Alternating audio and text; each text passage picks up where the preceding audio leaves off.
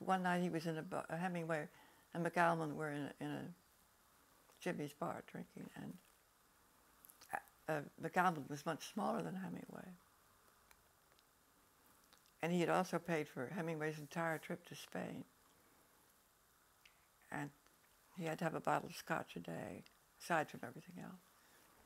And that night at the bar, he suddenly got mad at McAlmon for something and told him to come outside. And then he knocked him down. He was not an endearing person somehow. I mean, no, nobody liked him very much.